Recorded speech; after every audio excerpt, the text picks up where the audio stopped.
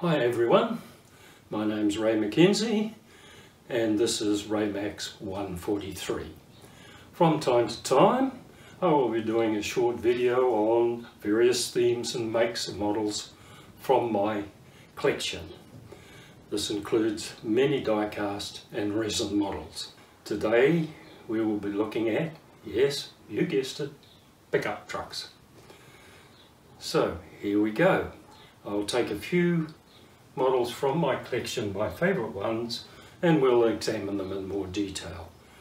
This is not a long video, so stay with me and we'll take a look. We're just going to do a quick review of the first cabinet. Won't take very long.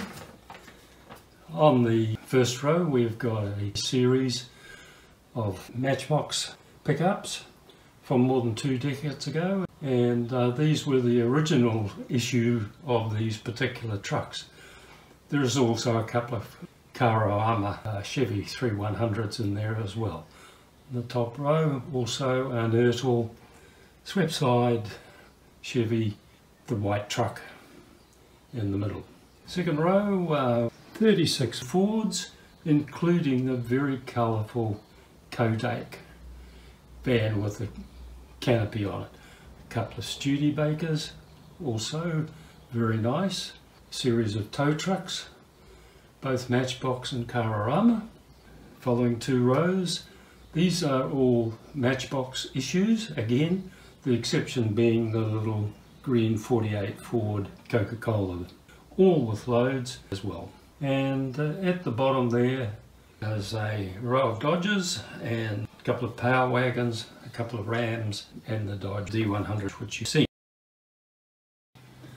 Items of particular interest in this cabinet from the top, a couple of rows of vehicles, pickups mostly from South America. And then there's an old Russian pickup from the late 20s. I won't even attempt to pronounce the name, the red one there.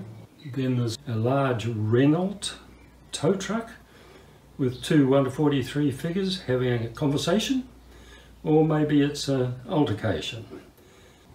And a couple of very nice little minor 1000s Morrises from the UK further down of note a Land Rover with trailer.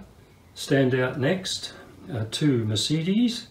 One is a 170V and the other a 220 and are particularly highly detailed, both from two ends of the spectrum, one from Schuco and one is a part work, but nevertheless they stand together.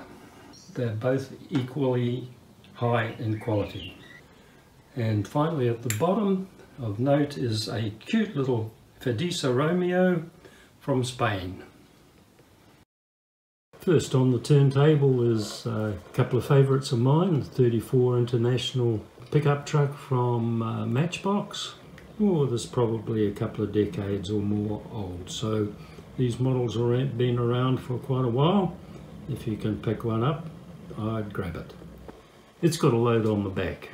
That's what I like to see. After all, what are pickups for, if not to deliver stuff from here to there. The other companion there is a D100 swept-side pickup from Dodge and uh, that model is from Neo. If you've got one of those and if you bought yours in the States, it probably came from a firm, packaged them under American Excellence. Here we've got a couple of pickup trucks, one from Premium X, it's a Ford F100 from 1979 and its companion also from NEO, or if you live in the States, American Excellence, that's a C10. Similar date. This pair of models is a pair of lookalikes, in my humble opinion, and uh, you would be forgiven if you couldn't tell the difference between the two at first glance. Very nice. Up next is a pair of models from Matchbox again. The series is two or three decades old. Uh, they stand the test of time to this day. They're excellent. They also have loads on the back which is in keeping with the sign writing on the side of the vehicles themselves. This is a 41 Chevy pickup in the livery of Harley Davidson and from Chevrolet itself there is a 3100 55 pickup with appropriately a couple of straight sixes on the back. All good. That's all for today folks. Like and subscribe and keep a lookout for my next video which will be on a very unusual subject. Thanks for watching.